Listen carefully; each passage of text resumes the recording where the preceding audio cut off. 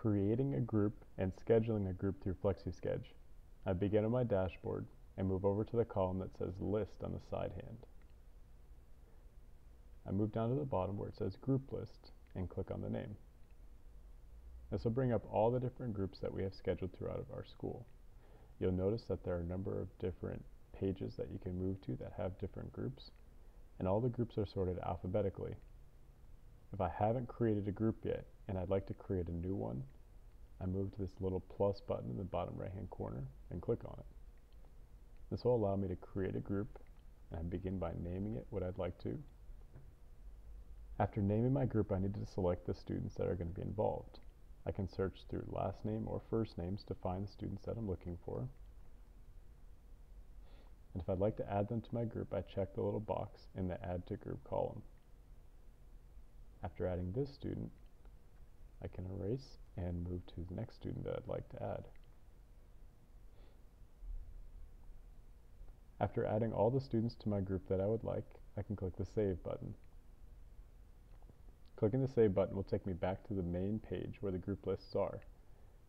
Again, these are arranged alphabetically, so if I move to alphabetically where my name would fall, I'll find my group name.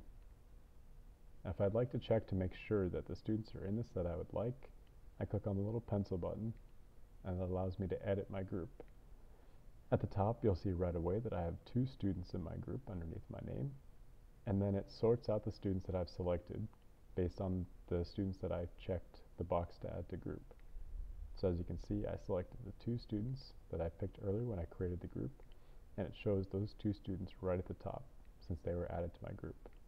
If everything looks okay, I'll click the Save button. And again, it'll take me back to the home page of groups. If I'd like to schedule my group for a class that I have or an offering that I have, I find my group name, and then this third button on the side will say Schedule Group for the group name that I have.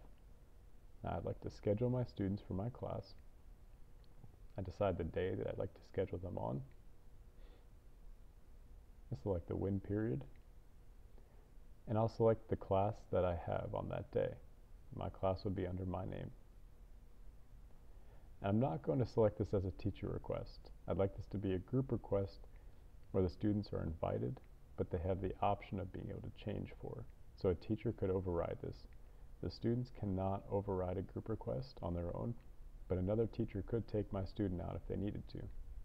I can also only schedule a group one day at a time, as you can see Monday through Friday.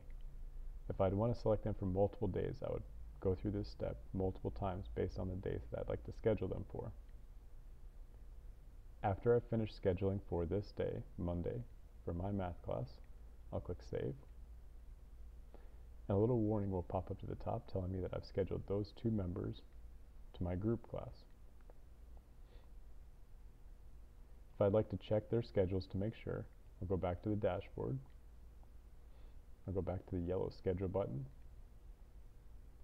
I'll search one of the student names. You'll notice that on Monday they're scheduled for my class and there's a little green logo. Those green logos signify that he's in, been asked to join a group for this class and that I've specifically picked him and other students. Again, this can be overridden by a teacher request if another teacher would like to have him or, or her in her class. This was scheduling and creating groups through FlexiSCHED.